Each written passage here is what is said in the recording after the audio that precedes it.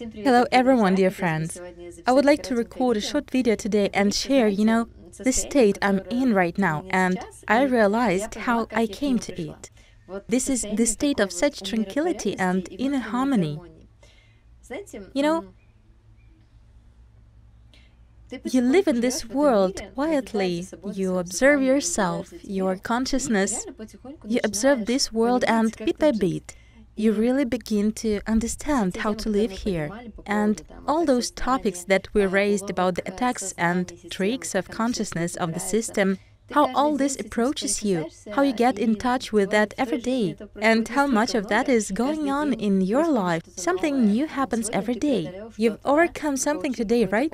You've had some experience and you already know how not to get into that trap. But tomorrow the system will surely invent something else to pull out your attention through something else. And it's an ongoing process. And, you know, Igor Mikhailovich very often talks about the fact that the system and consciousness simply want to eat. This is its job and that's normal. Simple examples when they know everything, know how to do everything, understand that there is the system, understand that consciousness is literally exploiting them.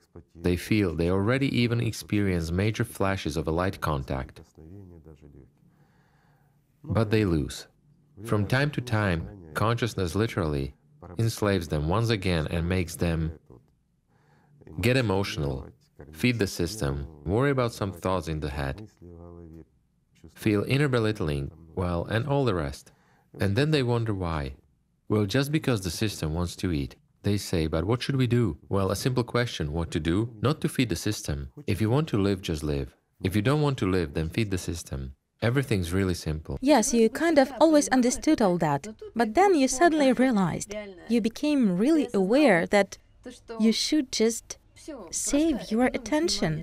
You should stop investing your attention in analyzing something, why consciousness acts that way and the interconnection of those events, why everything at the moment has developed in such a way that some kind of attack is now taking place, or why you are now in a bad or in a good state, and so on. You should just learn to calmly live the other world which is inside of you.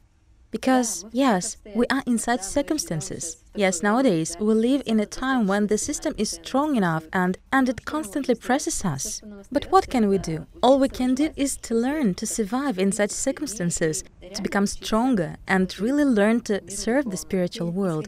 From your everyday experience, you learned to live somehow differently, just to live by your inner world. You very much value your attention, you are much more interested in what is going on there inside, how feelings unfold, what they taste like. I mean, every day it is different and beautiful. You simply stopped being surprised and impressed by new tricks and stopped giving it any meaning or describing it in colors. It just exists. Today it is this way, let it be so. Tomorrow it's different. But this is life. Everything goes, everything changes.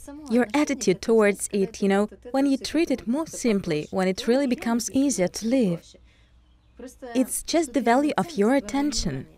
And when you really value it, it's more interesting for you to direct it into true reality and learn what is out there.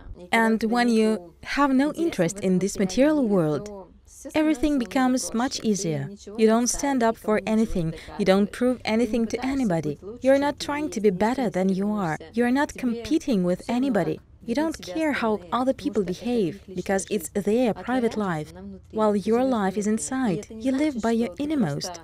And that doesn't mean that you're just a slacker and an idler. No, the life of personality is a constant development and self-improvement. While being here in the three-dimensional world, you learn, you develop your consciousness so that it truly serves God. In other words, you learn to use your tool, everything happens in exactly the same way. It's just that an inner state, you know, is sort of more harmonious and more calm. That's what I'm feeling right now. And you live and enjoy the possibility of being in contact with that beautiful within you. And you live like that day after day. And it's true, the more love you feel and nurture within you, the more it supersedes everything unnecessary, and you, the true one, remain.